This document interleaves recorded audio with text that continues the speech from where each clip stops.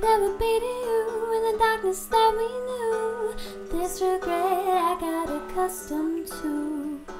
Once it was alright when we were at our high, waiting for you in the hotel at night. I knew I hadn't met my match, but every moment we could snatch, I don't know why I got so attached. It's my responsibility, I don't owe nothing to me. To walk away, I have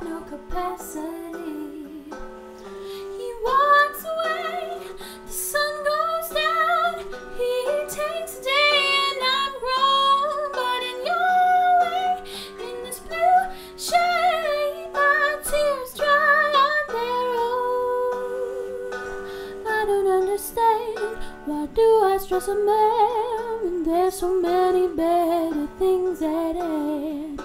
We never had it all. We had to hit a wall, and this is inevitable withdrawal. Even if I stop wanting you, perspective pushes through. I'll be some next man's other woman soon. I should blame